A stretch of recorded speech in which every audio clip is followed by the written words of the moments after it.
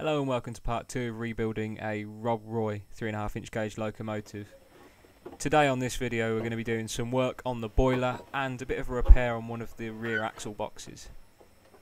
I had rather a bad leak in the roof so I had to move everything to the one side of the workshop to keep it all dry.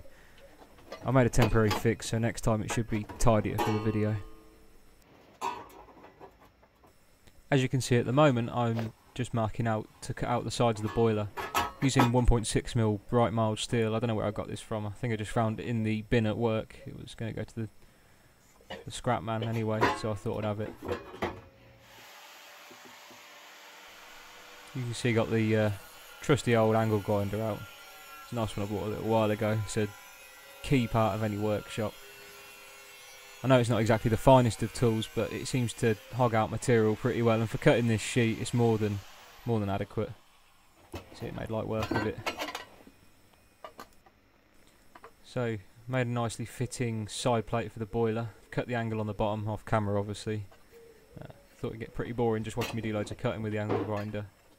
And I thought I'd just kick the end over to follow the contour of the boiler. It's a bit of phosphorus bronze. So, it's not going to mark the steel, not that it really matters, using a rubber mallet on it. Might as well do the job properly if it's worth doing. As you can see I've had to start the bench grinder slash sander by hand.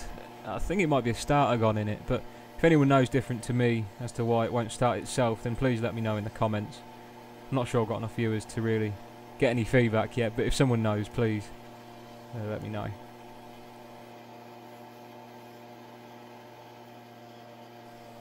So yeah, anyway, with this rebuild, it's it's kind of sympathetic.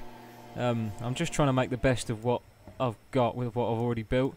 So I'm not going to go too crazy, or else I may as well just make the whole locomotive from the beginning again. Of course, on future projects, I'll have learned from this one, and I'll know what I need to do and how I need to do it.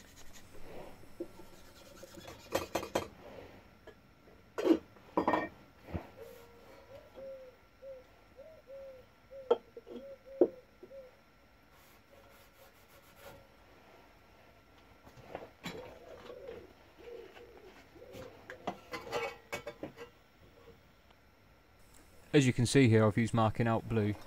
It's uh, a lot better than using black marker pens. You can see a lot better. And it's just easier to apply as well because my marker pens seem to freeze overnight in the shed. You see it's pretty cold. You can probably see me breath at points.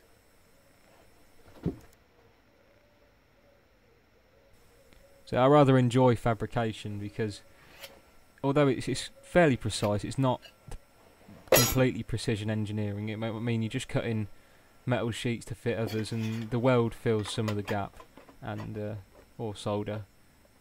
And you're just trying to make it look pretty and neat. I mean, I'll still get it pretty precise, but as you can see, it just requires saw cuts and a bit of filing here and there, so it's nothing too precise. You wouldn't use a micrometer on it.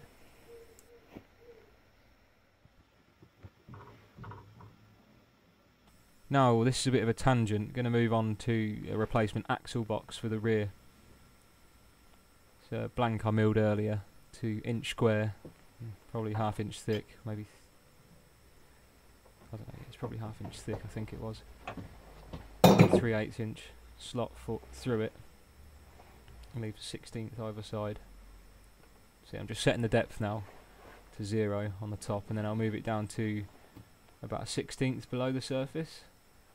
0.0625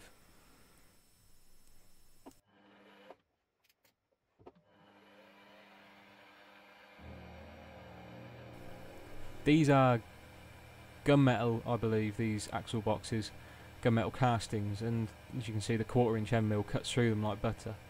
I did have a 3 8 inch end mill somewhere, but I seem to have lost it in the shed. As you know, things do do runners over time. Never find them again until you don't need them, of course.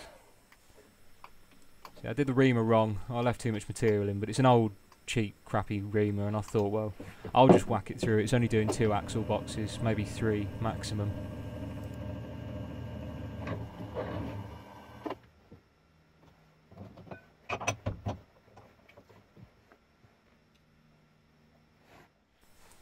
There's the new one, and that's the old one. See the difference? One's got a lot of play, one hasn't. Uh, I think the front left one needs redoing, but the rest will be okay for what I need. It'll help it go around corners, I guess, and the axle spins quite freely. In the next episode, I'll be making the axle, fitting two wheels and re-quartering them. I also should have the boiler welded by then. Thanks for watching. Please subscribe to catch the next video.